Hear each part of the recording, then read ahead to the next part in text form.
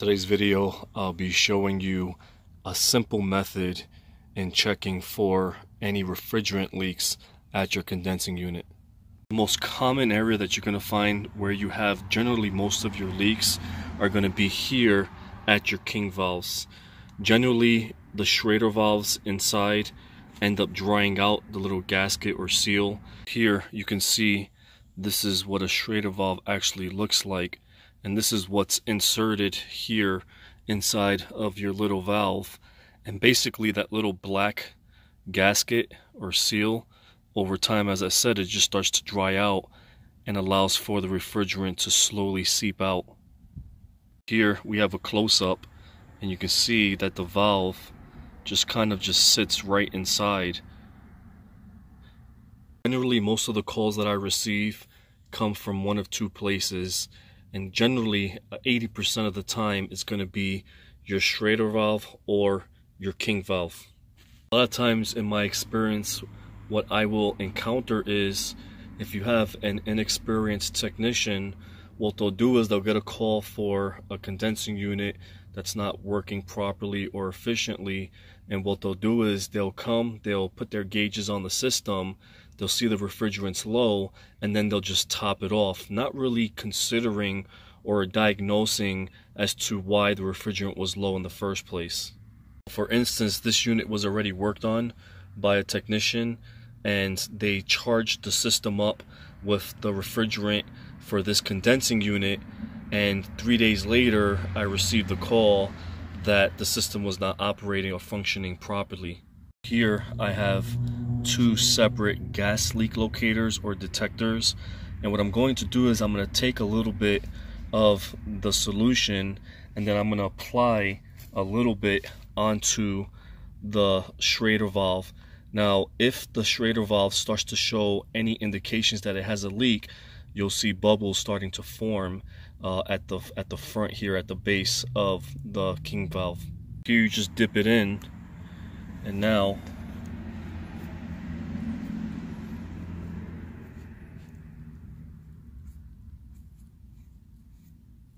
can see that it is starting to bubble very slightly which indicates we have a very small leak.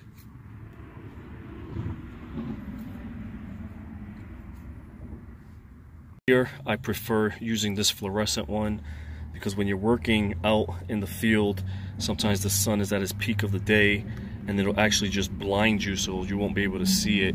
So here with the fluorescent one you can see that it's already starting to bubble over. So that tells me that I do have a leak here at the Schrader valve.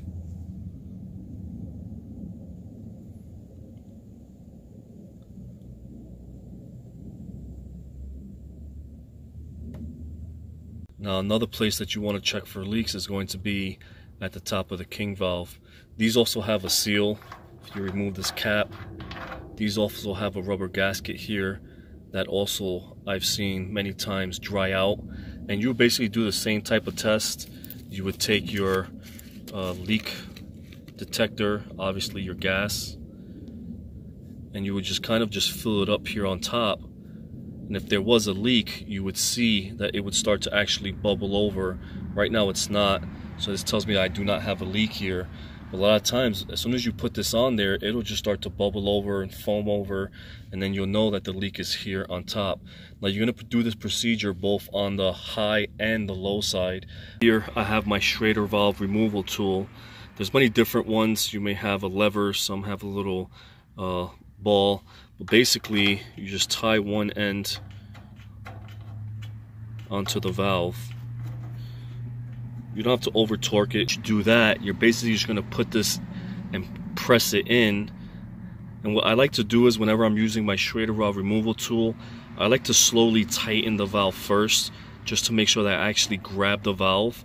And then what I'll do is I'll slowly, keeping pressure inwards, I'll slowly just kind of rotate it until the lever pops out. You uh, remove the Schrader valve, you'll feel like a slight click and then you'll just let it pop out like that and then you should have a lever here and that will actually close the line from allowing the uh, extra refrigerant that's in the system to escape. Now I'm simply going to remove this top portion and the Schrader valve should be at the end of the tip.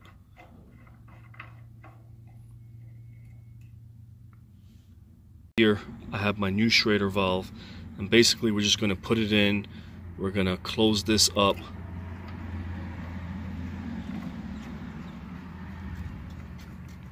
and then I'm going to open the lever and then push in and rotate clockwise to uh, put my Schrader valve back inside the king valve.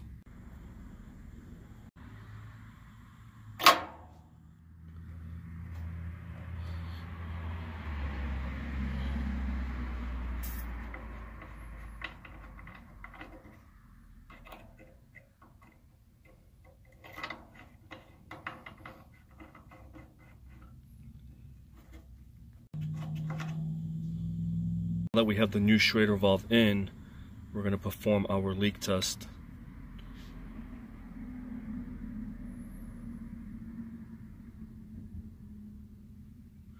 You can see the solution is foamy, but it's not bubbling over like it was before. You'll just see bubble like just forming at the base. So right now we have eliminated the leak. Lastly, if you do replace the Schrader valves, here is the cap that was on the system. You can see it's already starting to crack here at the base. It's just, at this point, very brittle. What I, what I would recommend is placing it with a brass cap. And you can see these have an actual little rubber gasket or seal inside. They're just very efficient and effective in just protecting against the elements